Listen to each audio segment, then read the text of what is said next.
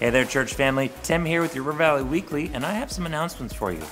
First thing, today is the last day of spring life group signups and specialty life group signups. Uh, if uh, this small community of a life group is something you have never been a part of, I strongly encourage you to sign up for one today. Also, we have a list of our specialty life groups, which are topical life groups this season, uh, are in your program. So make sure and check those out. If any of them are just speaking to your heart, please sign up for one now. Our next announcement, April 10th, we have two really cool things happening. Uh, first, we have uh, our downtown barbecue is happening. It's happening after our 5 p.m. service on Saturday and our 10:30 service on Sunday. But what we're asking you to do is uh, for you to cook and bring some pulled pork from your home. Uh, we are going to be having a big barbecue here, and we are asking you guys to bring the pulled pork. Later on the 10th, we have our Mexico flashbacks. If you've been uh, listening and praying for our students, we had about 70 students and staff travel down to Mexico and back, and the stories that we have are so powerful and life giving.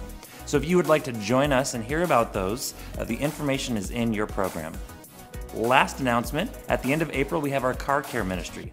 Uh, this is a ministry from our church to the uh, single ladies, the single moms, the military wives, the widows who just are unable to have that time to uh, fix their car. We want to offer that and bless you guys and do that for you.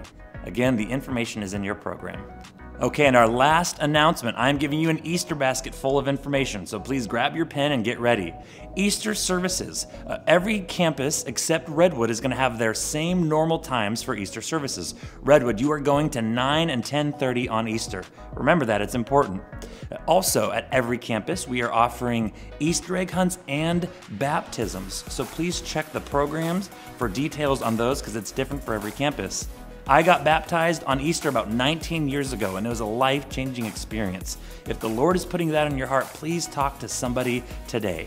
And lastly, for Easter, our Murphy campus is hosting a Good Friday service. Again, check your program for more details. That's your announcements, guys. God bless and have a great service.